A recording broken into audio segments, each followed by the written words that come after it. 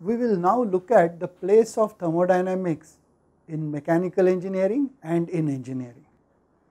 First, let us consider what is engineering all about.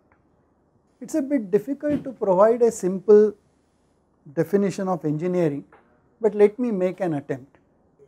Let us say that on one side we have nature, on the other side we have us, humans. Nature provides us resources, water, air, solar energy, stored energy in the form of fuels of various kinds, many minerals. What we want is a good life. So, what we do to use the resources of nature to provide us a good life can generally be called engineering. And the people who do this are engineers. This turns out to be a rather wide definition of engineering, but I think most of us will agree that it is a reasonably nice way to define engineering.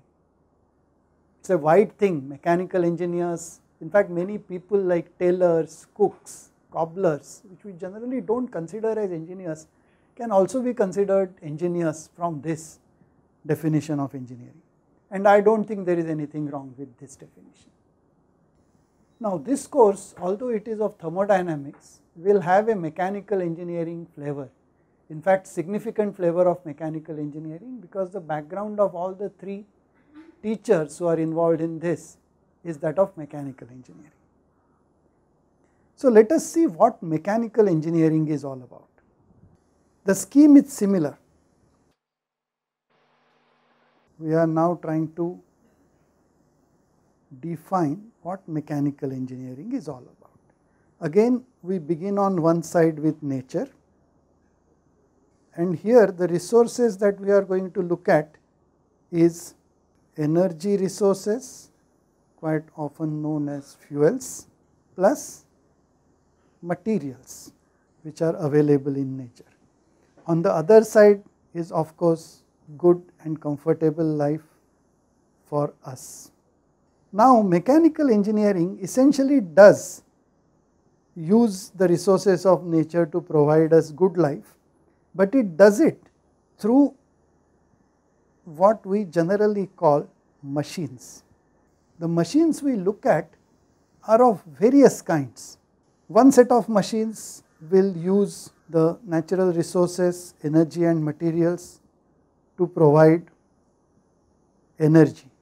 At a certain rate we call it power. And of course, we will use energy for good life for say transportation and to drive machines. We will also have machines that produce machines and we have machines that produce gadgets and machines of all kinds that directly or indirectly provide us with good life. So, this I suppose is a general scheme of mechanical engineering. Now, where does thermodynamics come in? We will notice that one of the schemes in mechanical engineering was machines that use natural resources and produce energy which we can use for driving our cars, running our refrigerators, washing machines and anything that we see. The natural resources are usually in the form of fuel. I will put fuel in quotes because even solar energy may be considered as a fuel of some sort. This provides energy in the form of heat. We stand in the sun, we feel warm. We burn some fuel, heat is liberated. Whereas this energy which machine produce is in the form of work. The science which looks at such machines which convert heat to work and maybe even vice versa wherever it is needed is known as thermodynamics. So, thermodynamics is essentially going to look at stuff which interacts doing or absorbing work and which interacts doing and absorbing heat. And these could be machines, these could be gadgets, this could be anything in thermodynamic we just call this thermodynamic systems. This word we will define again later.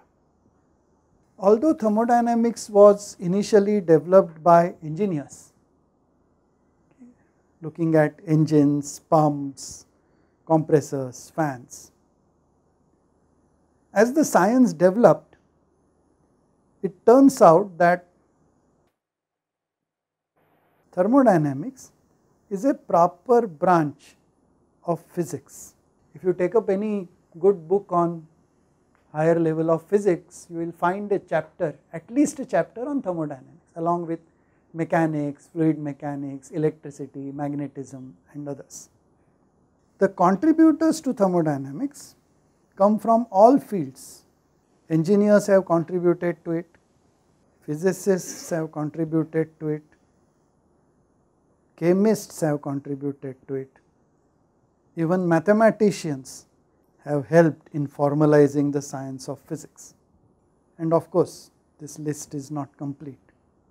And the users of thermodynamics are all types of scientists and all kinds of engineers.